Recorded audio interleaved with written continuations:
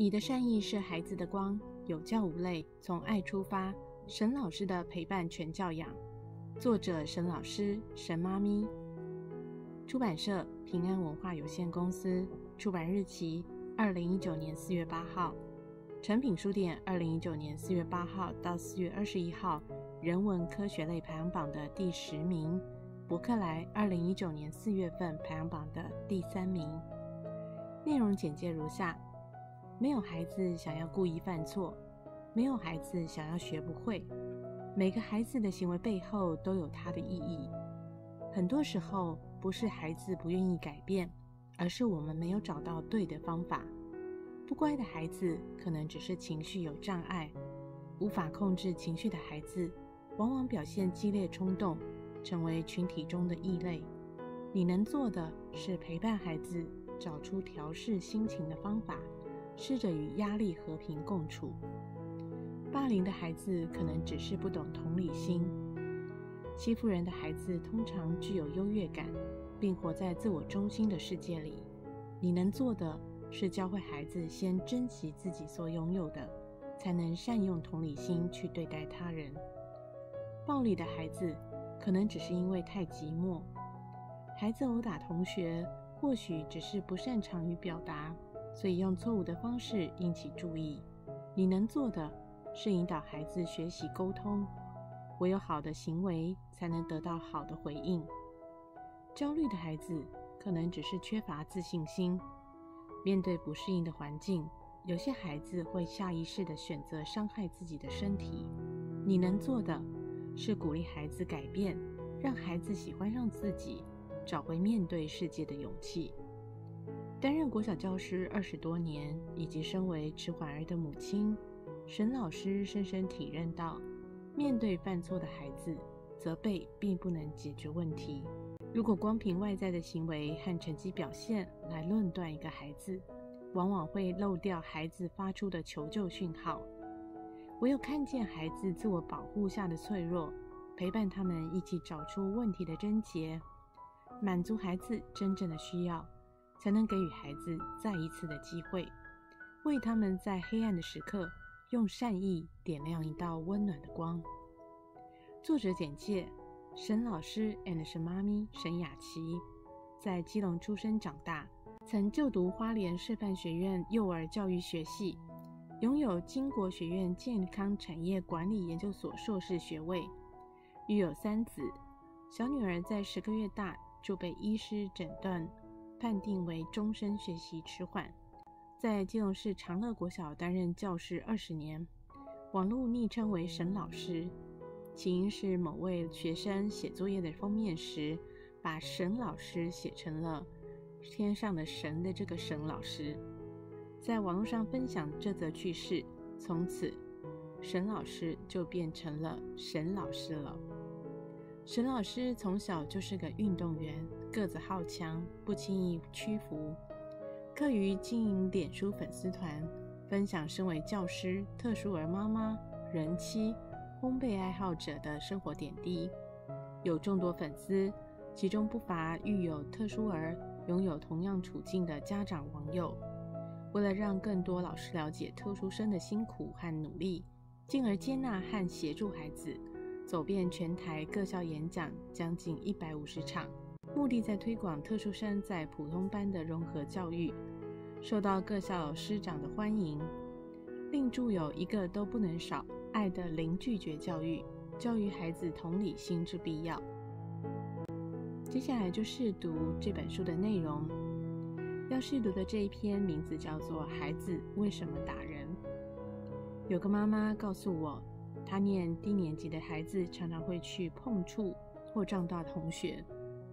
有时同学认定是故意，也有同学觉得被打，频繁的告状让老师不胜其扰。老师处理的方式是问全班有被打过的举手，有被打过的孩子全部都可以去打这孩子。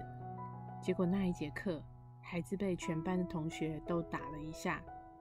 看到这孩子被全班打，我的心都揪成一团了，更别说是父母了。妈妈问我怎么办？如果我是班上的孩子，我会去观察这孩子的人缘是不是不好，也许他很想跟同学一起玩耍，可是同学不理他。这时候，他就会用自己的方式去引起同学注意。肢体的碰触是最快的，就像小婴儿不懂得表达，哭是最直接的方式一样。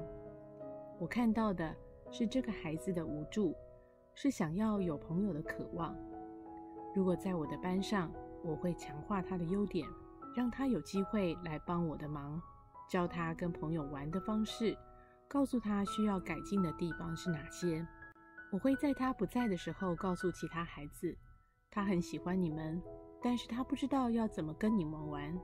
他不是恶意的，你们可以找他一起玩，告诉他游戏的规则，还会找几个人缘好的学生带着他一起玩，想办法建立起这个孩子的自信，让他懂得如何与同学相处，这样他就不会用不正确的方式去接近同学了。有状况的孩子就是需要帮忙的孩子。没有人想故意犯错，没有人想要被处罚，没有人想要学不会，甚至成为众矢之的。每个犯错的孩子行为背后都有它的意义。如果愿意在下课时候静下来看他和同学相处的模式，很快就能知道为什么。我通常都在学校处理孩子的状况，很多动作。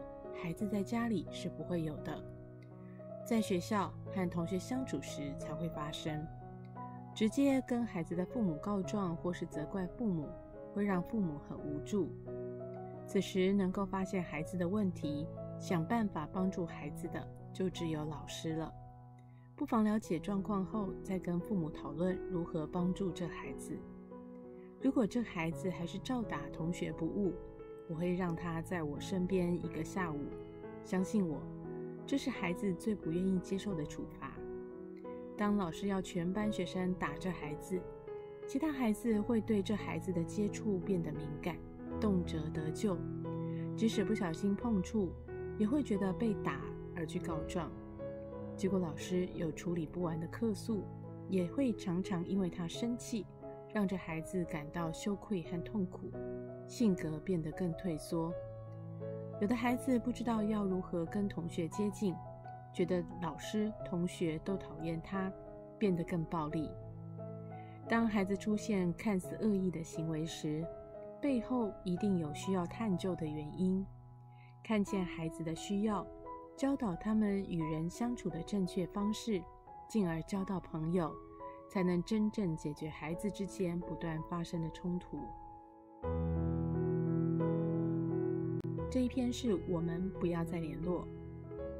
我遇过很多单亲的孩子，有些孩子提起不住在一起的爸爸或妈妈时，心里满满的都是怨怼。有孩子告诉我，阿妈说妈妈是坏女人，她不要我了。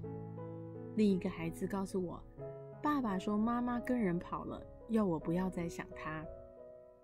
和外婆住的孩子说：“妈妈说我爸爸是烂人。”点点点点点，各式各样批评爸爸妈妈的话语从孩子们的口中说出来。还有爸爸和阿妈直接到学校来找我，要求我禁止已离婚的妻子跟孩子见面。我无法介入孩子的家庭，谁是谁非真的无法分辨。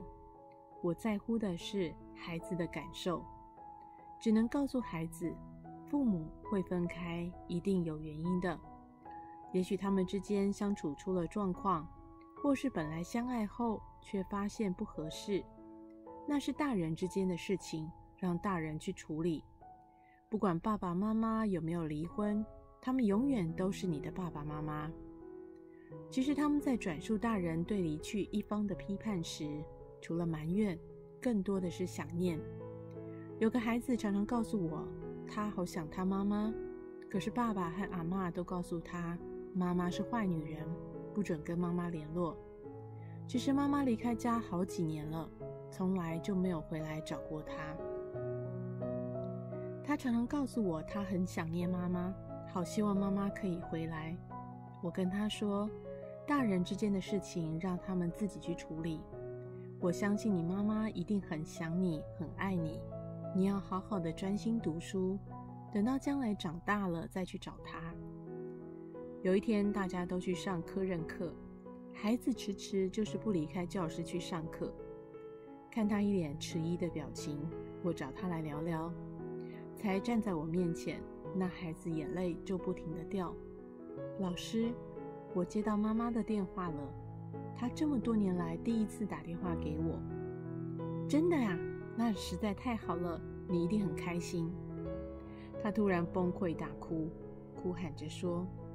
老师，他没有说他想我，只告诉我从此以后不要去找他，他不会再打电话给我。那一瞬间，我的喉咙哽住，说不出任何一句话来安慰他。是什么样的原因让一个妈妈回头来伤害好几年不见的孩子？或许是离婚协议没有谈好，或许是夫妻之间的纠葛还没结束。还是妈妈决定重组一个新的家庭。不管理由是什么，做父母的都不应该这样伤害自己的孩子。一个年纪这么小的孩子，就得承受母爱被迫断绝的痛苦，让人心疼极了。我担心这伤痛会影响孩子一辈子。